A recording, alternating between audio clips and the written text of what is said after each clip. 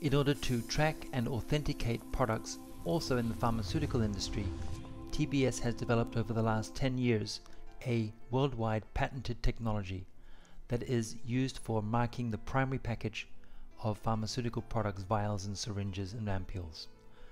What we do is, in this case here, we're marking the aluminium crimp of vials and we actually construct a modular system quite compact, about one square, one square meter and then you can integrate that into your existing packaging lines in the pharmaceutical industry. Here it is marking the aluminium cap of vials.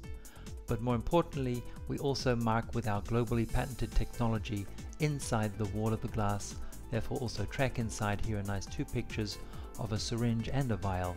And all of that is integrated up to 10 individual data matrix every second on the fly. Very efficient. Thank you very much. We can give you much more detail. Thank you for contacting us. Thank you very much. Bye bye.